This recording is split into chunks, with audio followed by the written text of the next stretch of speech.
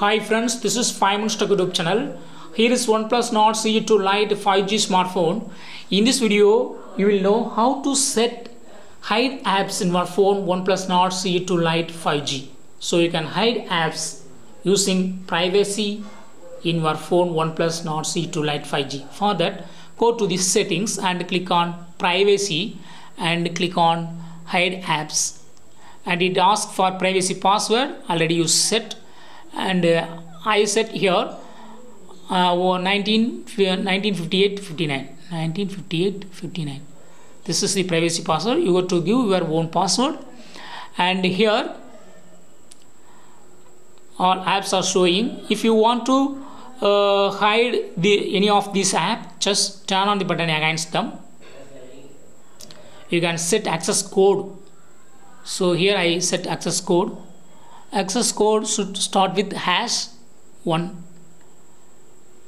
must end with hash. Your access code must start and end with hash. So hash hash 1 then hash. This is for accessing my app here. So I use calculator and enter access code on the dial pad.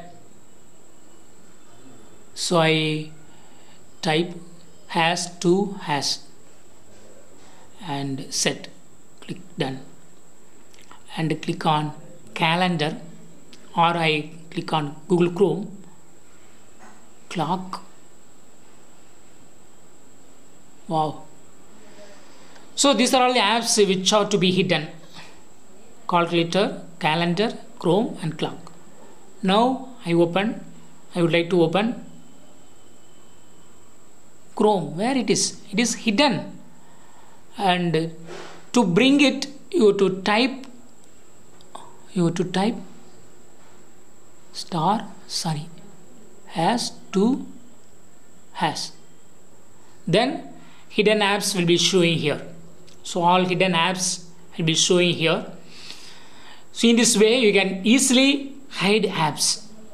If you if you have some secret apps then you can hide it and you can you can set the code for it to to open by you only. That's all friends. Thanks for watching. Bye